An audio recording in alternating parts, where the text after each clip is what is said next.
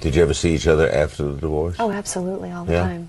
Absolutely. So you, a relationship continued of some sort. Absolutely. But you were the the tough mother, and he was the soft father. Oh. Very typical, by the way. I know. And uh, when Elvis died, Lisa Marie was what nine? Just nine years old. hmm Where were you that day? I was at home. Well, actually, I was I was on my way to um, an appointment.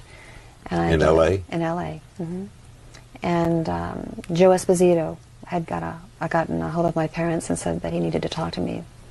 They reached my sister, and my sister met me at the appointment and told me that um, something was wrong. That Elvis was uh, ill and in the hospital, and I I went back home. The phone was ringing, and it was Joe on the phone, who said that. Um, he was sending a plane for me to come to Memphis. It was serious.